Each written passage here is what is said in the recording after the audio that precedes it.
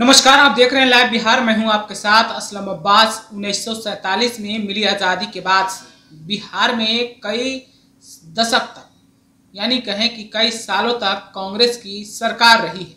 लेकिन कांग्रेस की सरकार में, बिहार में एक ऐसा वक्त भी आया जब बिहार की सियासत में जातीय समीकरण के हिसाब से महत्वपूर्ण भूमिका निभाने वाली आबादी मुसलमानों को मुख्यमंत्री के कुर्सी तक भी पहुँचने के लिए काफ़ी संघर्ष करना पड़ा या कहें कि काफ़ी संघर्ष के बाद 2 जुलाई 1973 में मुख्यमंत्री की कुर्सी नसीब हुई और नाम था अब्दुल गफूर खान।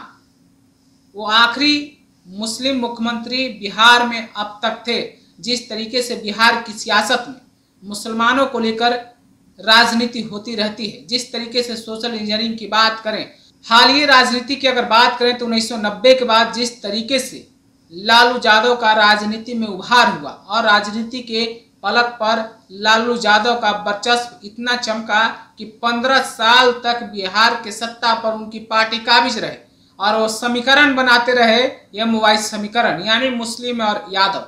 इस समीकरण से वो सरकार चलती रही, लेकिन ये तमाम बातों के बीच में आज मैं जो आपको बताने जा रहा हूँ वो जो सबसे बड़ा सवाल है, वो जातीय गणना को लेकर है। जी हाँ बिहार सरकार ने जातीय गणना के आंकड़े जारी कर दिए, जिसके हिसाब से बिहार में आबादी जो है, तेरह करोड़ सात लाख पच्चीस हज़ार तीन सौ दस बताई गई है। और यही वो आंकड़ा है जो बिहार के अब राजनीतिक में एक भूचाल सा ला दिया है। और भूचाल ये है कि किसकी कितनी आबादी है बिहार लेनिन या कहें कि भारत के लेनिन के नाम से मशहूर बाबू जगदेव प्रसाद साफ़ साफ़ उनका नारा था, जिसकी जितनी आबादी, उसकी उतनी हिस्सेदारी।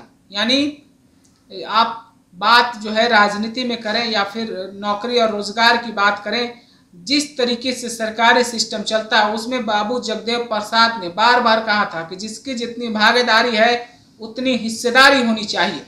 और जातीय जो गणना हुआ है उसके हिसाब से बिहार में सबसे ज़्यादा अगर किसी जात की आबादी है तो वो यादव समुदाय, जो कि लालू यादव के वाइस समीकरण पर फिट बैठता है। चौदह दशमलव सात फ़ीसद आबादी बिहार में यादव की बताई गई है। यादव की और वो सबसे ज़्यादा आबादी है बिहार में, आंकड़ों के हिसाब से देखें तो।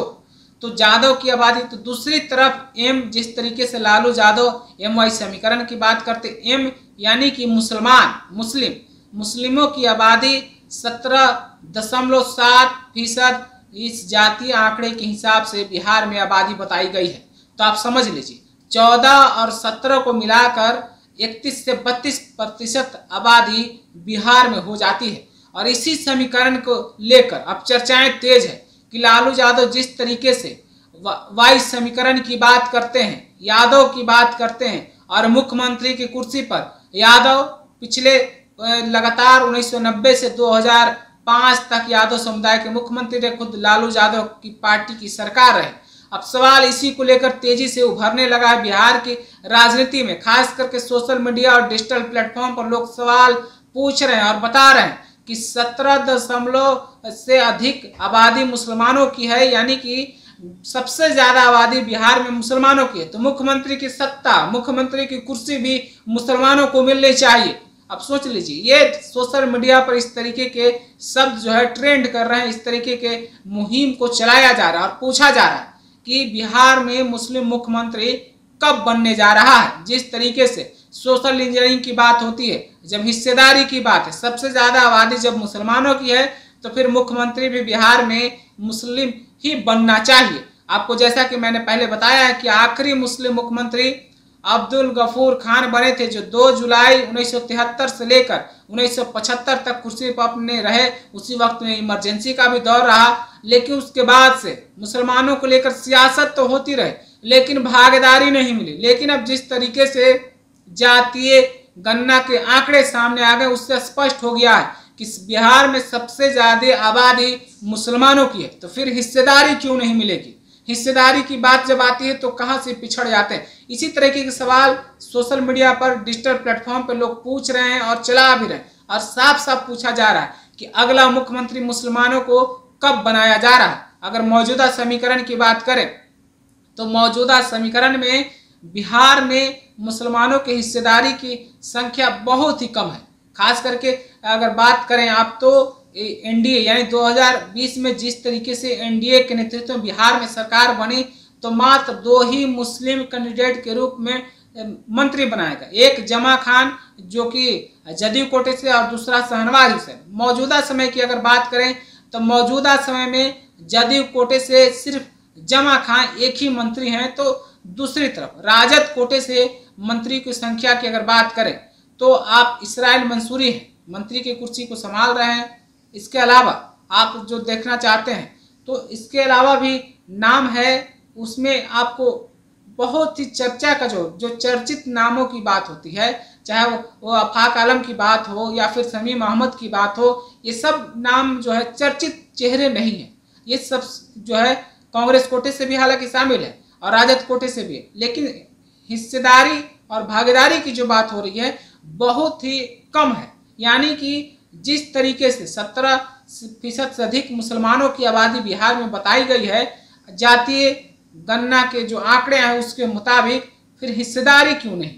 आज हिस्सेदारी एक तरफ़ चौदह दशमलव सात फ़ीसद आबादी वाले यादव यानी कि जिस तरीके से यादव की बिहार में जनसंख्या, यादव समुदाय से डिप्टी सीएम मौजूदा समय में तेजस्वी यादव कुर्सी संभाल रहे हैं। लेकिन मुसलमानों की जो हिस्सेदारी है, भागीदारी है, वो नीतीश कैबिनेट में भी कम है। और अब आगे क्या होगा? जिस तरीके से मुख्यमंत्री नीतीश कुमार, तेजस्वी यादव बोल रहे हैं कि अब योजनाओं के साथ साथ काम करने में आसानी होगी, पता चल गया है कि किसकी कितनी हिस्सेदारी है। तो इसके हिसाब से अब नीतीश कुमार को मुख्यमंत्री नहीं बने रहना चाहिए।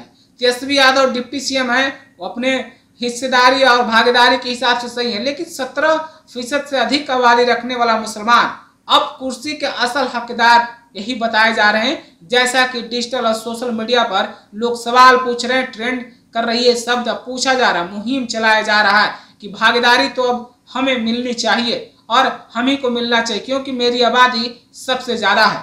तो जिस तरीके से जातीय गन्ना के आंकड़े जारी हुए हैं, उसके बाद से आप समझ लीजिए। किस तरीके से बिहार की सियासत में नई परपाटी की शुरुआत हुई है, लोग अब सवाल पूछ रहे हैं, लोग अब जानना चाहते हैं कि दो परसेंट से अधिक आबादी, यानी कुर्मी समुदाय से आने वाले मुख्यमंत्री नीतीश कुमार कैसे पिछले सत्रह अठारह साल से मुख्यमंत्री बने हुए कैसे अपने आप को बिहार के सत्ता पर काबिज किए हुए जबकि उनकी हिस्सेदारी बहुत ही कम है, जनसंख्या बहुत कम है तो उनकी हिस्सेदारी ज़्यादा कैसे हो जाएगी? वो भी सरकार में। इसके अलावा और सारे, बहुत सारे सवाल हैं, खास करके जो मुद्दा था, वो मुद्दा था मुसलमानों को लेकर जिस तरीके से जातीय आंकड़े के बाद, हिस्सेदारी की बात हो रही है, प्रतिशत की बात हो रही है, उसके हिसाब से बिहार में अगर कोई मुख्यमंत्री बनना चाहिए तो मुसलमानों की तरफ़ से मुस्लिम उम्मीदवार ही मुख्यमंत्री बनना चाहिए और बिहार के कुर्सी पर काबिज होना चाहिए, जैसा कि जातीय आंकड़े जारी किए गए हैं। उसके हिसाब से मैं आपको ये बातें बता रहा था। सोशल मीडिया पर, सोशल प्लेटफॉर्म पर लोग इस तरीके के सवाल पूछ रहे हैं, मुहिम चला रहे हैं। आप अपनी राय क्या रखते हैं? आपको क्या लगता है? क्या सचमुच में? अब अगला मुख्यमंत्री बिहार का मुसलमान होने वाला है। क्या अगला मुख्यमंत्री का कुर्सी पर मुसलमान व्यक्ति ही बैठेगा? इस तो तरह के सवाल जो सोशल मीडिया पर पूछे जा रहे हैं, डिजिटल प्लेटफॉर्म पर जो चलाए जा रहे हैं, आप अपनी राय क्या रखते हैं इस बारे में? जातीय गन्ना के आंकड़ा सामने आने के बाद, मुस्लिम भागीदारी और हिस्सेदारी के बाद हमें ज़रूर कमेंट करके बताइएगा। तब तक के लिए लाइव बिहार के साथ आप बने रहिए। अगर आप ये वीडियो यूट्यूब के माध्यम से देख रहे हैं तो सब्सक्राइब करना ना भूलें। हमारे चैनल को अगर ये वीडियो आप फेसबुक के माध्यम से देख रहे हैं तो अधिक से अधिक लोगों तक शेयर करना भी ना भूलें। तब तक के लिए आपका बहुत बहुत शुक्रिया। लाइव बिहार यूट्यूब पर सब्सक्राइब और फेसबुक पर लाइक ज़रूर करें।